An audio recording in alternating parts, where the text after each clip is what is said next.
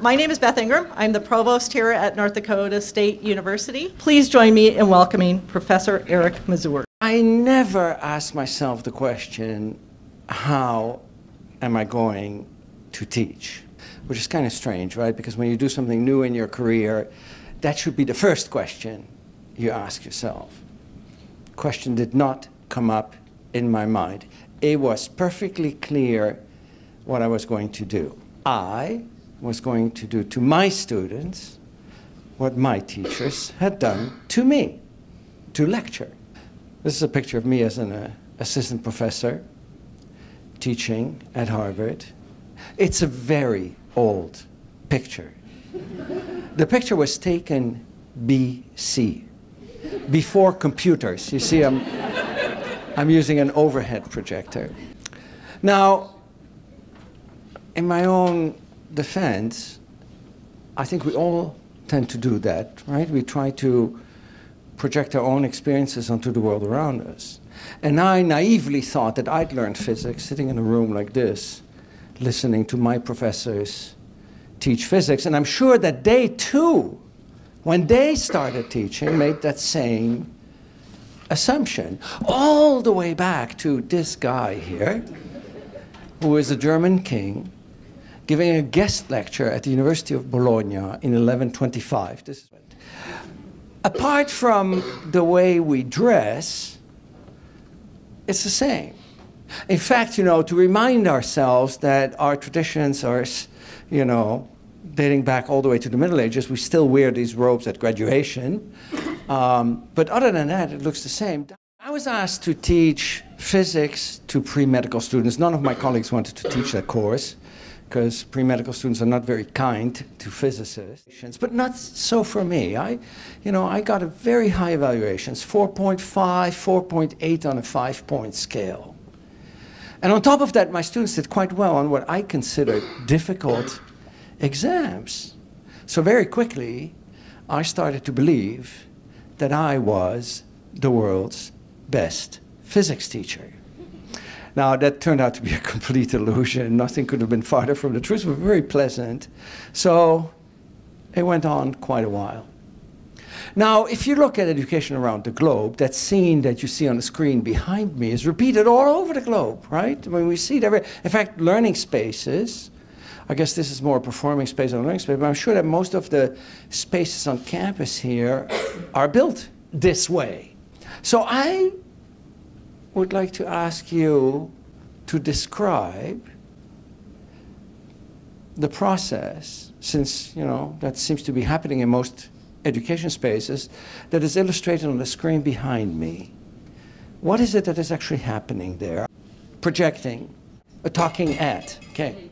Sitting, listening. Did I hear somebody say sleeping there? Do I have to remind you that these are my students? This is me there on the screen. But you know, now that you mentioned sleeping, the French writer Albert Camus is claimed to have said once, some people talk in their sleep. Lecturers talk while other people are sleeping. Now notice that most of the words that we've heard, I think in fact all of them, pertain either to them or to me. Talking, I'm talking, they're not talking. Listening, they're listening, I'm not listening. Pontificating, I might be pontificating, they're certainly not pontificating. We're both there at the same time. So is there a way of capturing the process between them and me? What is it that is happening there? Telling, Telling but that would be again me, right? Sharing, that's interesting. But sharing, I see sharing as a two-way process. I share something with you, you share something with me. These are pretty passive there. One-way knowledge transfer. I like the transfer, I like the one way, but I question the knowledge. Is knowledge something that you can actually transfer? Let's think about that. Is knowledge something that you can transfer in a room like this? I would argue no, because knowledge is something that needs to be constructed in the brain of the learner. But I like the one way and the transfer. Information. Lectures focus on the transfer of information. And you know what? My students had actually rubbed that in my face very early in my teaching career. And instead of paying attention, I'd gotten upset. See, I just told you that uh, when I started teaching, I never asked myself, how am I going to teach? But there was a question that did come up in my mind. What was that? Not how, but what, exactly. So I went to a colleague who had taught the course before, and I asked him that question. He said, oh, in this course we used, we've used in the past the book by Halliday and Resnick. Those of you who may have had a physics course a while back may know that book has been a classic for probably 60 years. And I was told, which surprised me a little bit, having been educated in, the, in Europe, before I came over here as a postdoc, that students would buy the textbook. I mean, in Europe, you know, why, why, would you buy the textbook if the professor is presenting the content of the textbook to you? You might as well save the money. But anyway, he told me, be sure that the bookstore has enough copies. So a month before the course started, I went over to our bookstore, the Harvard Coop. I went to the person responsible for buying textbooks, and I said, be sure that by September 15th, you have 150 copies of Halliday and Resnick in stock. And as I walked back from Harvard Square to my office, I thought, wait a minute. If the students have Halliday and Resnick, and I have the same book, then what do I do in the classroom? I started to get nervous, you know. So I knocked on my colleague's door before going to my office and I asked him that question. And he said, Oh, Eric, don't worry. There are lots of different physics textbooks. And he showed me a shelf full of books that he had collected over the course of his career. And I started looking, and very quickly I found the perfect book. It was perfect for two reasons. One, it was different from Halliday and Resnick, so at least I was not just regurgitating the contents of the book that they'd bought, but that was not the important reason. The important reason was the book was out of print. so for every class, I would prepare lecture notes, which I would put on the overhead projector or put on the board behind me. And because I knew that my notes were different from the textbook, I thought it would be good for the students to have a copy of my notes. Remember, this was BC, so it was definitely BI before the internet. There was no way of posting them, so I had to actually hand out photocopies. So at the end of each class, as they walked out through the doors in the back, just like here, they could pick up a copied set of uh, the lecture notes, a photocopied set. Now, why do you think that I hand them out at the end of class and not the beginning of class? Otherwise, they would not pay attention or they would not stay. But isn't that already admitting that there's a problem? I mean, why force the students to get the information out of my mouth if they could get it from my lecture note? That, that question never, that idea, that thought never crossed my mind. But you know what happened? What happened was that at the end of that first semester, about half a dozen students wrote on their end of semester questionnaire in the comment section, Professor Mazur is lecturing straight from his lecture notes. Hello? I mean, what was I supposed to do? Develop another set of lecture notes to lecture from that was different from the lecture notes I handed out to them? I mean, these ungrateful students. But you know, they had a point. I was lecturing from my lecture notes, and if they would have looked at the textbook, they would have seen that the book wasn't that different from the lecture notes. Now, this scene here behind me is repeated all over the world. I'm sure that if we were to stop this talk right now and together walk around campus and pop in a few classrooms, you might see a room that's very similar. So that begs the following question. Is education just a transfer of information? I mean, it's not a crazy question, right? Because that's what I would say probably around the world, 99.9% of instructors do. If you believe that education is just a transfer of information, press 1.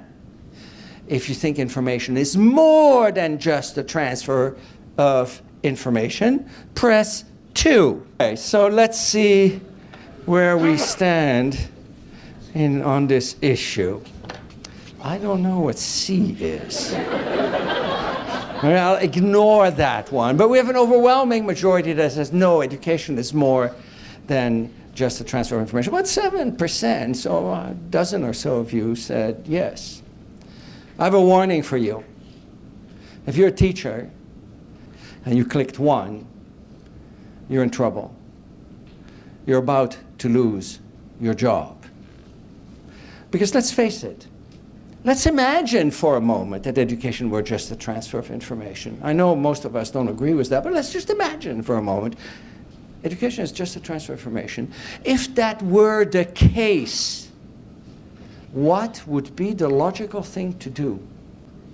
Put it online. Exactly. In fact, it's already happening. What would we lose if we took all of our courses and all of our classes and put them, record them in different languages and put them online? Of course, we'd lose our jobs, but, but, but in addition to our jobs, what, what is it that we would lose?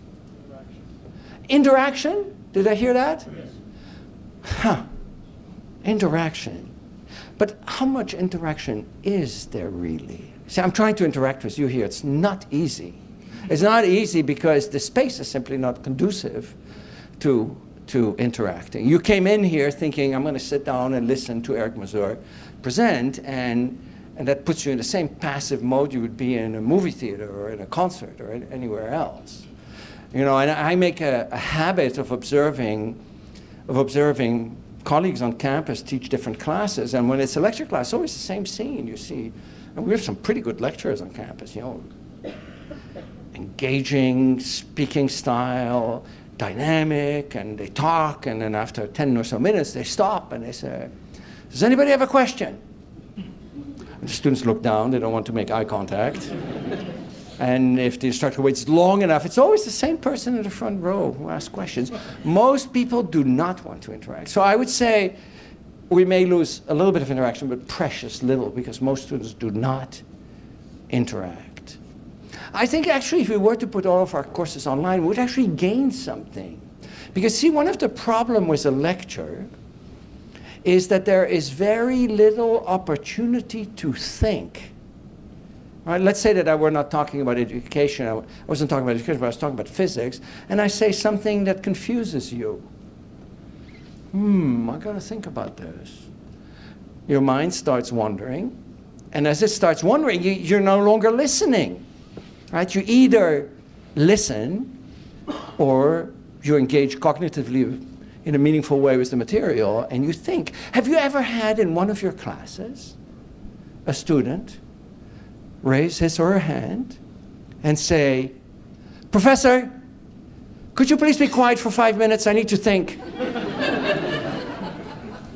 it's never happened in my courses, and I'd be surprised if it happened in yours, but you have to admit, if you actually want to think, that's what you should do. Now, online, you could do that, right? You could hit the pause button and think, hmm, I gotta think about this. Not that it happens, but you could. Right? So my point here is this. If education is just a transfer of information, we're doomed. We're doomed because there are better ways of transferring information than orally in a lecture. Luckily, I think most of us agree that there's more to education than just the transfer of information, so we won't lose our jobs.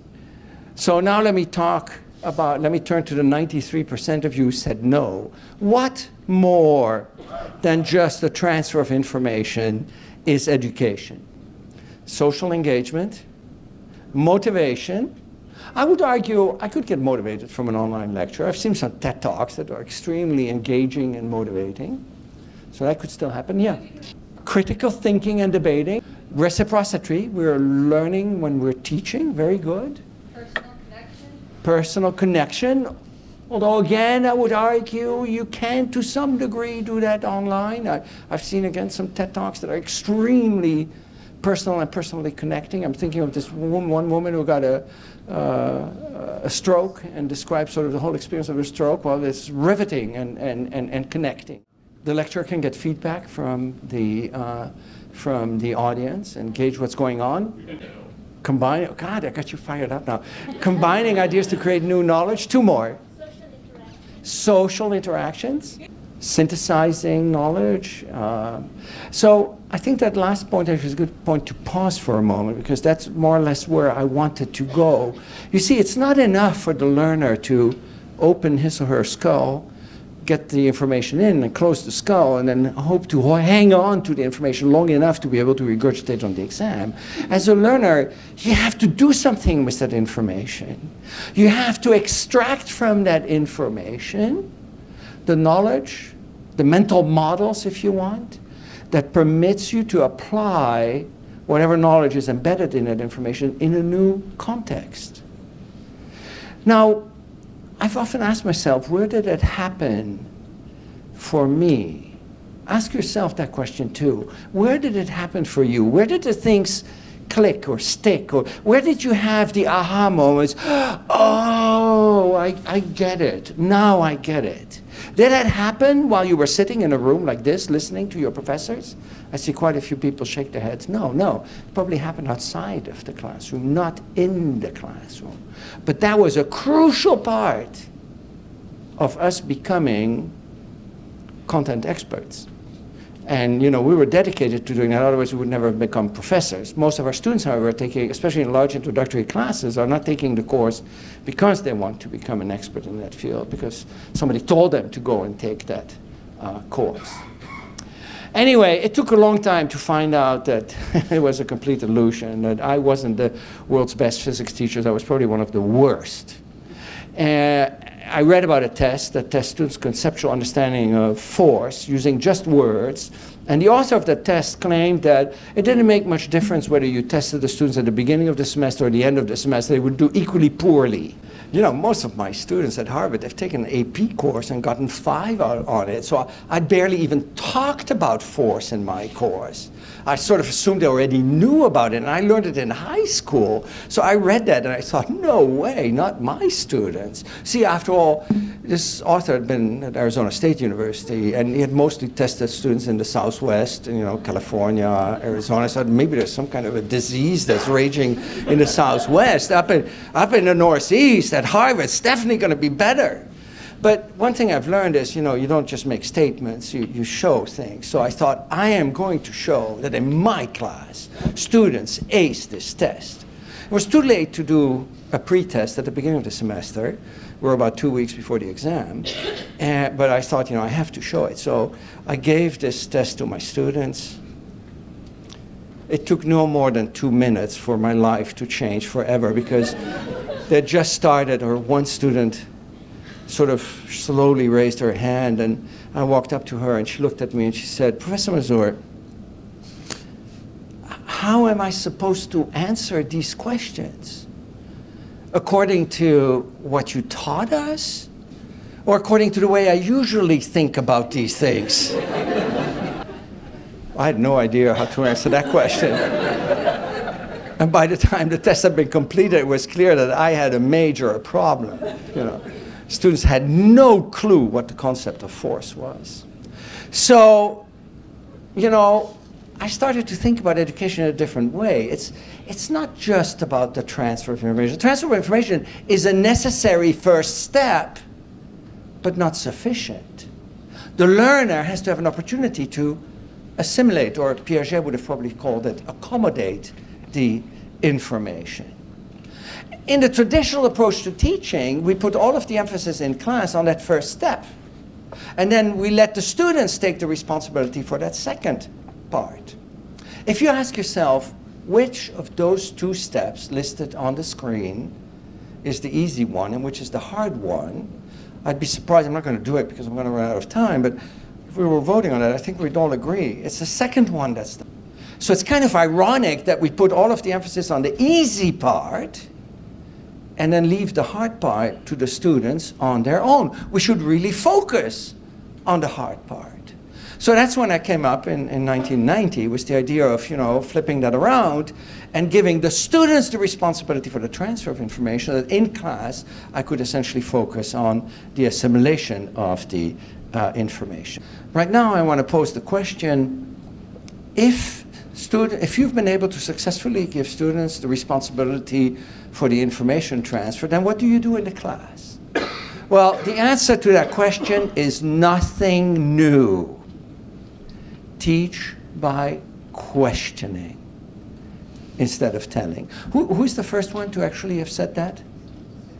Socrates 2,000 years ago, and here we're in the 21st century, and still most classes, especially in STEM fields, I think you know the humanities are probably doing better, are still mostly taught by telling rather than questioning. Now, it's not that I was sitting there thinking, oh, Socrates, teach by questioning. No, it was sort of a serendipitous discovery. You see, after giving that test to my students, not only was I shocked, they were equally worried. Right? It was two weeks before the final exam. They couldn't understand why they'd done so poorly, and they, they were worried. So they asked me for a special session to go through every single question on that test. So I booked a, a, room like this. At that point, I had 250 students in my class. And I, um, I uh, went through every single question. I remember coming to a question which, in my mind, was completely trivial. So I turned my back to them, I sketched a few things on the board, and I turned around and I said, I gave them the answer. I could see from their faces that they were completely confused. So I said, Is there a question? They were so confused they could not even articulate a question. So I said, Boy, this is serious. You know, maybe I should you know, bring in additional aspects. So I erased the board, I started all over. In the next eight minutes, I gave the most brilliant explanation you could possibly imagine. Okay, the whole board was covered at the end with equations and drawings. I'd worked out every little detail in the most exquisite detail. Of course, I'd done it all with my back to them, and I turned around triumphantly, only to see that they looked even more confused. And they could still not articulate a question that I understood. You know how it is, right? When, when, when you're a beginning learner, it's sometimes harder, hard to pinpoint what your difficulty is, and there's the expert you don't connect to, to that, to that, to that difficulty. So I didn't know what to do. I knew, however, that half of them had given the right answer on the test. So in a moment of despair, I said to them, why don't you just discuss it with each other? And something happened I'd never seen in my classroom. Complete, utter chaos. they forgot about me. I could have walked out, they would not have noticed it. But what was even more surprising, in just two minutes, they figured it out. I was really stunned by that. I thought, how can it be? I, the expert, try unsuccessfully for 10 minutes in two different ways to explain it, and they just figure it out? But imagine you have two students sitting next to each other, John and Mary. Mary gets it and has the right answer. She understands it. John does not and gets the wrong answer. On average, Mary will be more likely to convince John than the other way around, simply the force of logic.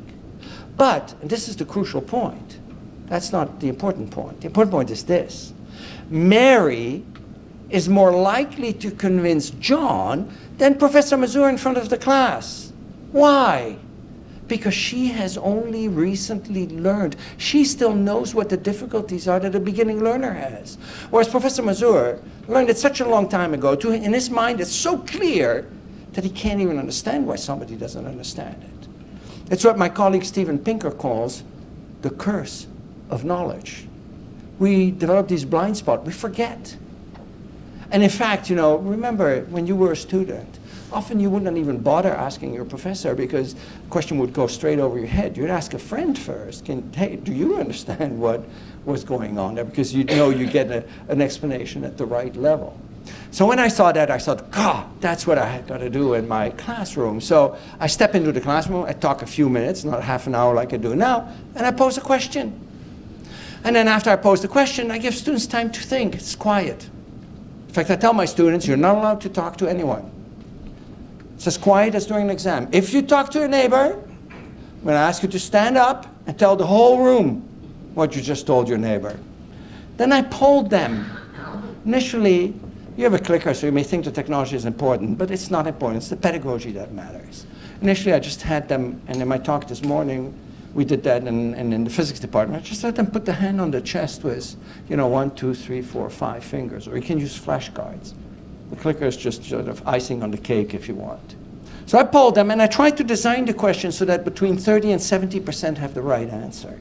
If less than 30% have the right or desired answer, there are simply not enough students to convince others. If it's more than 70, they're going to very quickly run out of things to say and they're going to be off task. They're going to start, you know, pull out their cell phones and check their email or do something else.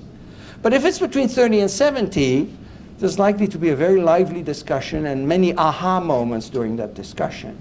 I tell my students also, holds for you in the back too in a minute when we try it out, if I see you sit alone, not talk to somebody, I will come and talk to you. And the first few lectures, I make a habit of quickly running through.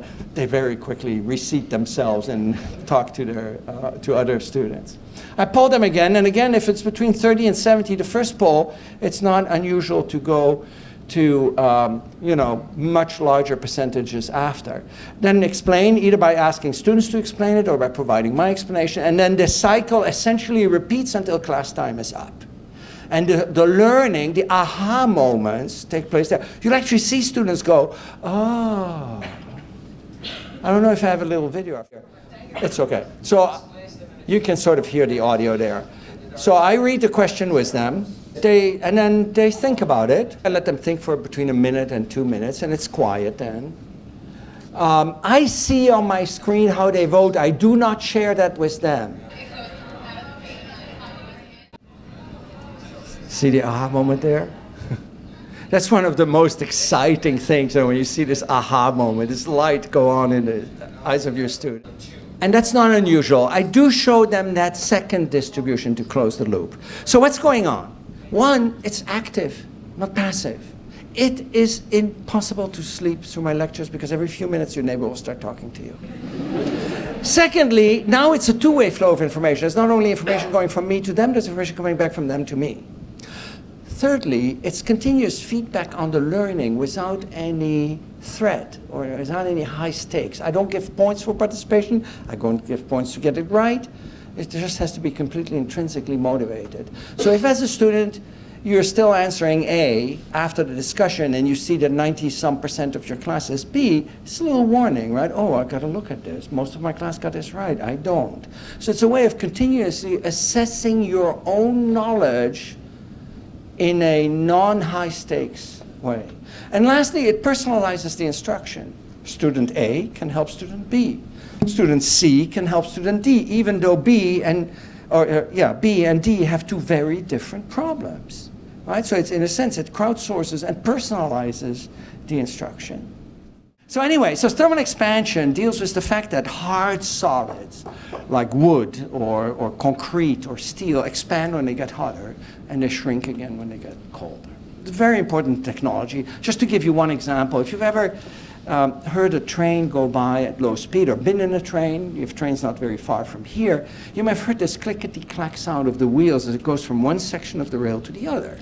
It's because they put the section, the sections, leaving a little gap, tiny gap, between the rails so that if the weather gets hotter and the rail expands, there's space for that expansion to happen. If you don't do that, bad things happen, as you can see from this railroad in India that was put you know, back to back. When you build large steel beam buildings, you need to take that into account. Next time that you park your car at a concrete parking structure, after you park your car, look down and you'll see that every 10 yards or so, there's a rubber strip. When they put down these concrete slabs, they leave a little gap between the concrete slabs, which they fill with rubber, so that when it gets hotter, the concrete expands, the rubber compresses. It's not a hard solid, it's a soft solid, so it can take that into account. If you think, well, that's all, you know, maybe interesting for engineers, it doesn't concern me.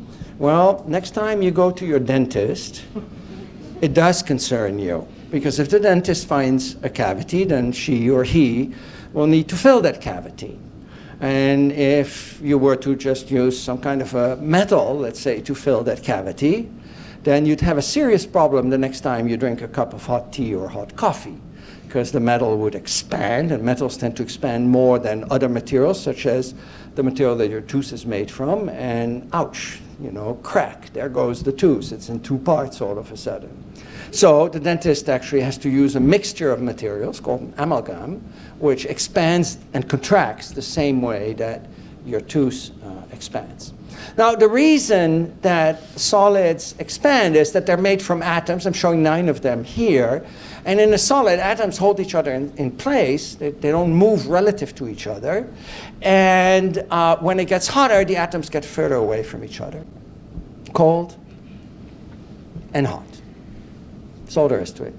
That's all you need to know to answer the question I'm going to ask you. Now, you may wonder, why is it that atoms get further away from each other? I'm not going to ask you about it, but, but just to satisfy your curiosity, the reason is that atoms do not sit still. They vibrate back and forth like this. And the amplitude of that vibration is related to what we call temperature. So this is, these are cold atoms, and these are hot atoms. Cold atoms, hot atoms. So if you were an atom, you wouldn't just sit like that. You'd actually be shaking back and forth. And as it gets hotter, you'd shake back and forth over a bigger amplitude, and you need more space. You can't get crammed together as much because you just push the people around you away, and they in turn push the people around them away. And it's not just those nines, it's all of them. So cold and hot. Questions, anyone? Thank you for reaffirming that I'm a brilliant lecturer. this is really wonderful. Although I think I heard a question there. But, you know, I'm not going to simply ask you to regurgitate the same information. I'm going to see if you can take this picture of atoms getting further away from each other, all of them, and apply that to a different context. Remember, I'm going to ask you the question. By then, it's too late to ask me questions, okay? And you're not allowed to talk to your neighbor. If you talk to your neighbor, I'm going to ask you to stand up and tell the whole room, out of fairness, what you just told your neighbor. Then we're going to vote, and I'm not going to show you the distribution. I'm going to ask you to find after that a neighbor who has a different answer. So if you turn to your right and that person has the same answer, you say thank you very much, and you turn to the person on your left. If that person also has the same answer, you turn to the person behind you or in front of you. If everybody around you has the same answer, do not assume you're all correct. Get up, walk around, find somebody who has a different answer. Instructions clear? Good. Okay, so here's the question. Consider a rectangular metal plate with a circular hole in it. Now imagine that we uniformly heat this plate. What happens to the diameter of the hole as the metal expands? Does it increase? Does it stay the same? Or does it decrease? So, so if you don't know for sure, choose whichever you think is closest to what may be the truth. Okay, good. So now find a neighbor has a different answer and then try to convince that neighbor that you're right and he or she is wrong. Go ahead. If you don't. Now look at that. You all got fired up. I'm not here to talk about thermal expansion. I'm here to talk about pedagogy. The answer to this question doesn't even matter. If you look at small children, in a sense, we're all born scientists, right? Three, four, five, six year old. They keep asking their parents, their teachers, why, why, why, why, why? We're wired to wanting to understand the world around us. Whether you've become a social scientist or an economist or, or, or a painter or whatever, we were all born scientists.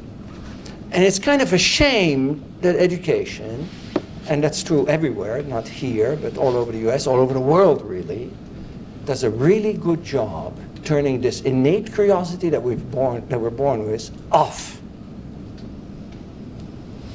The good news is I've just shown you how easy it is to turn it back on. Right, because imagine I had given the same little lecture that I gave you a moment ago, but instead of asking you the question, I would have said, let's now apply this to rectangular metal plates with circular holes in it. If we take one of these plates and put it in the oven, the plate will expand and the diameter of the hole will, ah, I'm going to keep you in suspense a little bit longer. You know, you would have been sleeping through it. I mean, what is more boring than metal plates with circular holes in it? Isn't it amazing, right? I, I, trust me, if you can do this with metal plates with circular holes in it, you can do it with anything. You can do it with absolutely anything. Now, you know, I want to keep you in suspense a bit longer. let's sort of analyze the psychology of this. I asked you a question, and then you thought about the question, and then you had to make a commitment. Right? I told you to make a commitment. We could have done this with hands on the chest, would have been exactly the same, or by clicking. And then after that, I asked you to externalize your answer, not to me, which would have been intimidating, but to a neighbor. And something interesting happened. We could see it was you continuing to talk and gesticulating. All of you moved away from the answer to the reasoning. All of you were sitting there like this, trying to, you know, talk about not the answer, but how you get to the answer. This approach, in a sense, brings the thinking, I think it was you mentioning critical thinking, back in the classroom. But most importantly, you got emotionally invested in the learning process because if I were to tell you now, bye, gotta go, plane to catch, you'd come running after me asking me, what's the answer to that question? Now, before I can give you the answer, you have to vote again. So please indicate what you now believe to be the right answer. You know, I thought I gave a pretty darn clear lecture. And so did you. Only a quarter of you got the right answer the first time around, and unfortunately the method doesn't work that well because, as I said, you need at least about 30% correct. So in a sense, you've made a very important point. Because in a sense, you have been telling me, by the way you voted, Eric, your lecturing sucks. Which is actually precisely the point I wanted to make. It may have seemed clear, but in reality you haven't even begun to learn. No. The right answer is number one. So let's see here. Wow, look at that. Look at that. Let's compare it to the previous. So you started at about a quarter correct, and it went up, and all the other choices went down. So even though only a quarter of you got the right answer the first time, notice that it moved in the right direction. And right now at 40%, it's almost the dominant answer. Now, I don't want you to lie in bed tonight at 2 a.m wide awake.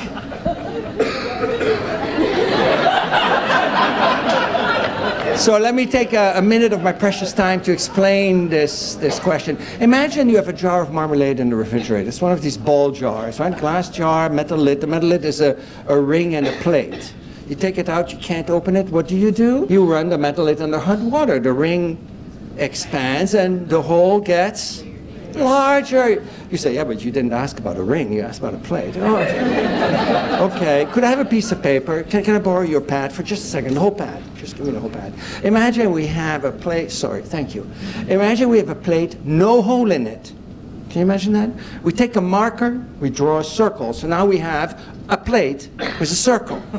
We put this plate with a circle in the oven, Thank you. We turn the temperature up. The plate expands. What happens to the diameter of the circle? Yeah, everything gets bigger, so the circle gets bigger too. You say, that's unfair, there's no hole. If there was a hole, then the atoms would expand into the hole. I'll show you what's wrong with that.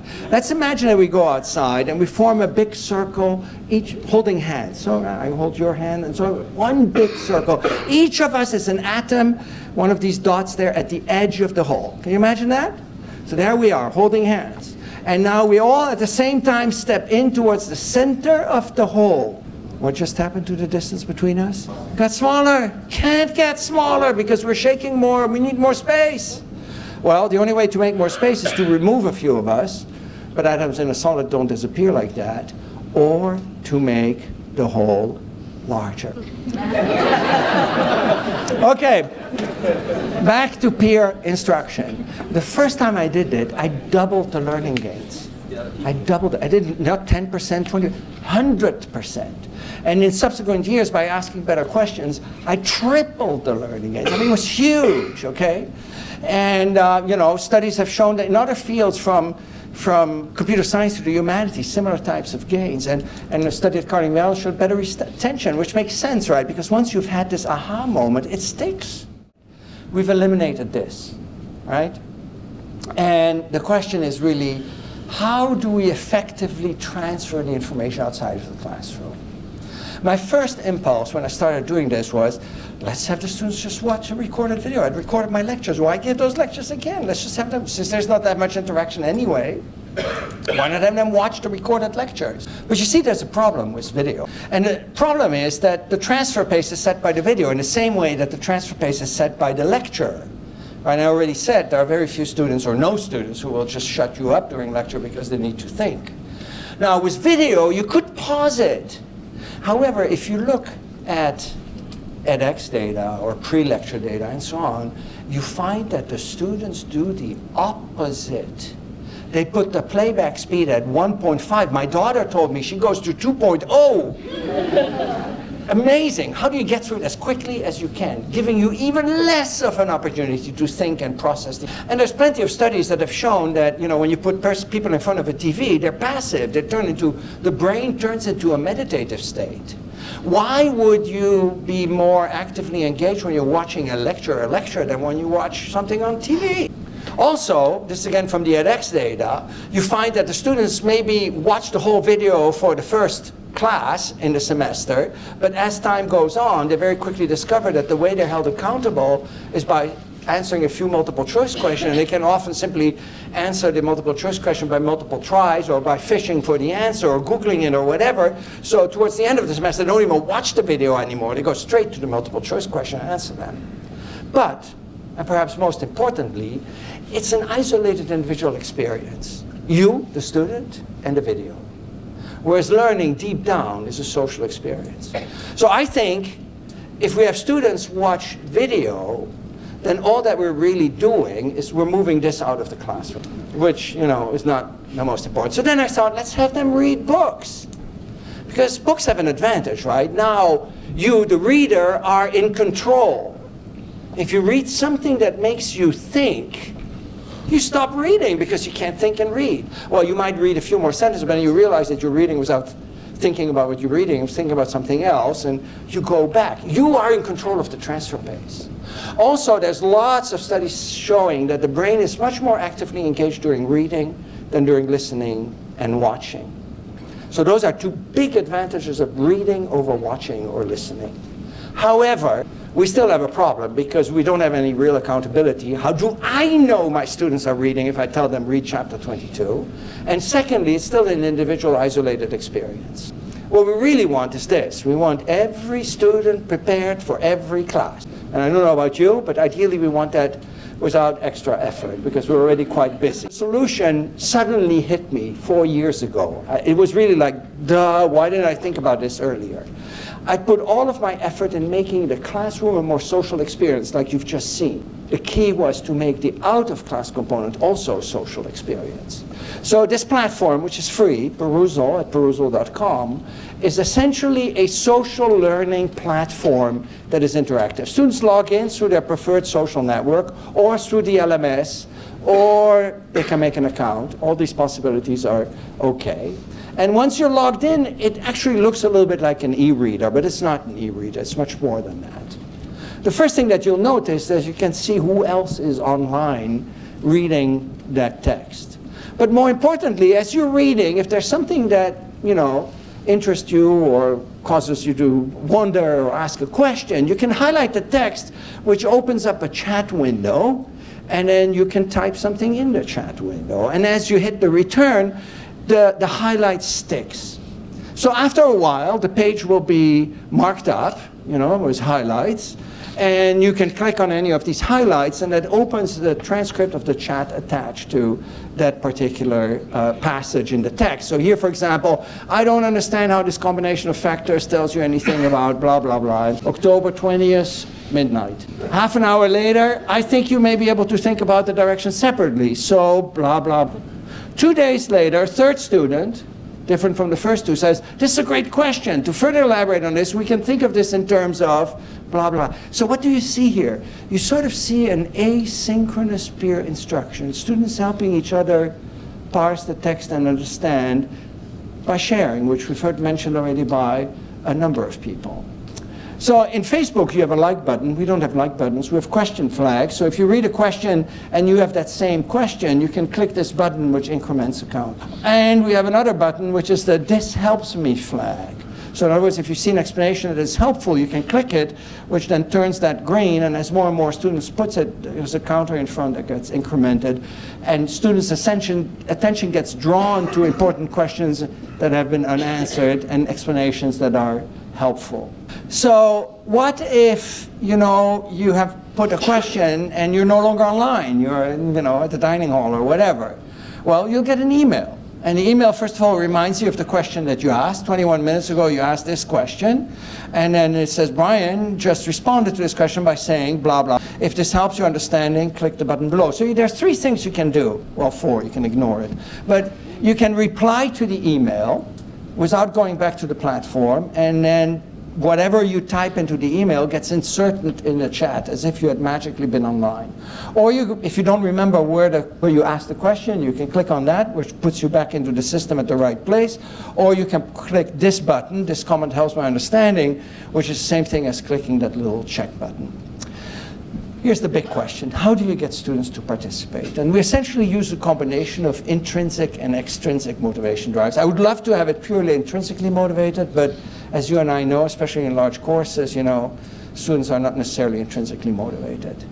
So we tell the students that the body of their message has to demonstrate thoughtful reading and interpretation of the text.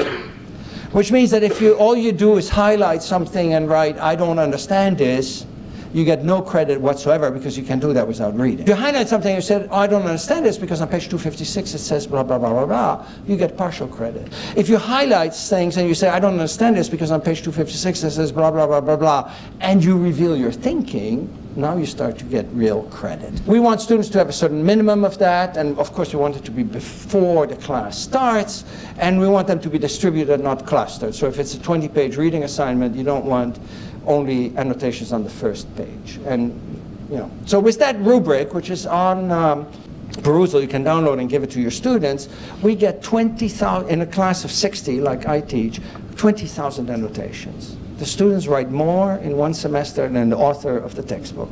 So I can already hear you think, you know, how do you process all of that? Well, this is the exciting part. It's fully automated. I got together with a quantitative social scientist on campus who does machine learning analysis of social media because I realized that if you look at, you know, Twitter and Facebook page and you can do machine learning analysis of that, you could certainly do the same approach to look at annotations in uh, different textbooks.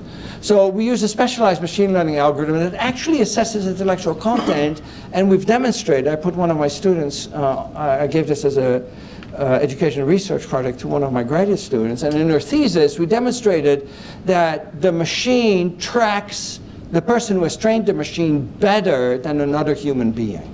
So in other words, the agreement between trainer and machine is about 80%. And if you take two individuals, the best they can after even talking to each other is agree on 75% because you know it's not completely objective, of course. So immediately after an assignment, uh, you have a grade book showing you know the names of your students and what they have for the different assignments. You can click on a on a grade and see you know how many annotations, which one were submitted before the deadline, and the students get the same feedback. But it gets much better than this because that is just a stick in a sense. Let me tell you about the carrot. When I started doing this, I realized that those annotations were like a window into the brains of my student. My fingers were itching to click on them and see what are they thinking. I was particularly interested because the book we were using was my book. But also, if I knew what the students were had questions about, I could design a better class. Right? Because then in class, rather than asking the questions, that come up in my mind, I can ask a question that come up in their mind. So in the beginning, I was just clicking a thousand times for class to come up with some good questions. But then I realized, you know, we should really automate this. So there's a button in Perusall called the confusion report, which essentially gives you for whatever the assignment is. This was chapter 24. This was actually from a class at the University of Central Florida. You know, it tells you the three or four topics that lead to the most confusion. So I can walk into class and say, thank you for your thoughtful annotations. It looks as if you were mostly confused about these topics. I don't show the confusion report, I just make a slide that has those terms on it. Topic one, topic two, topic three. One of you asked this great question. I just take their questions and they'll go, wow, we actually raise our annotation. Yeah, nine of them, but they don't need to know that.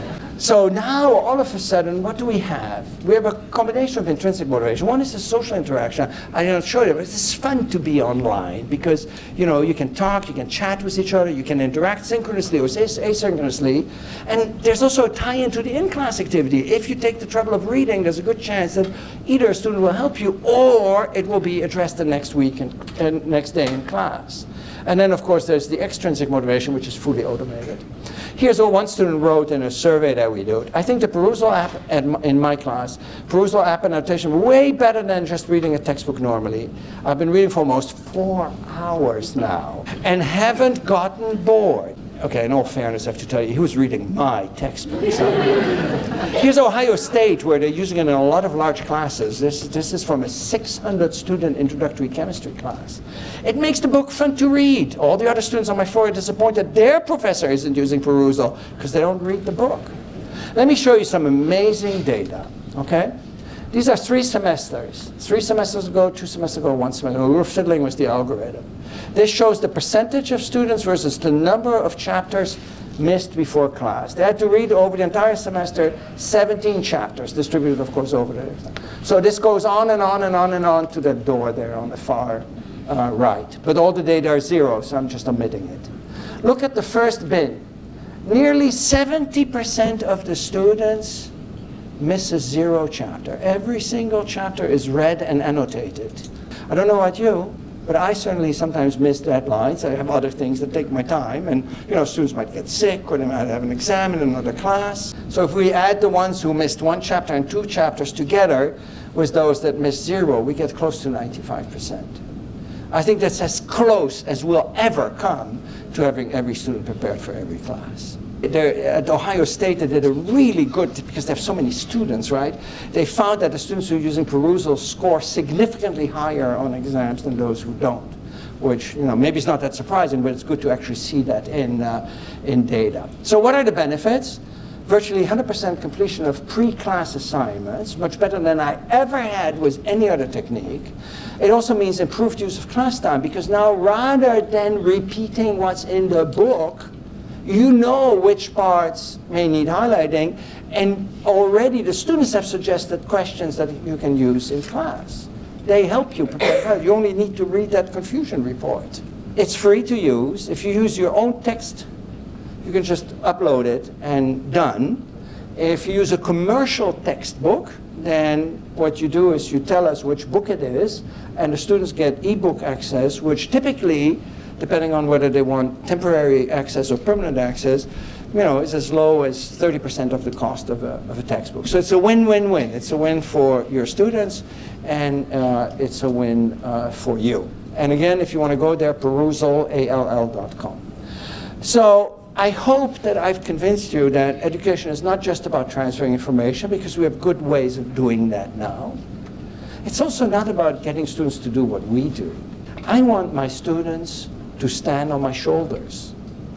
I want my students to be able to solve the problems that I cannot solve. We want the next generation to solve the problems that this generation can. We have plenty of problems, you know, from, from political problems to, you know, health, environment, uh, privacy, you name it, lots of problems. We don't know how to solve them. The next generation better figure it out. And that means we must prepare our students not just to solve the problems that we have solved, but problems that have not yet been solved. And I think the only way to do that is to essentially engage the students actively and socially with each other, both in the classroom and outside of the classroom. Thank you very much.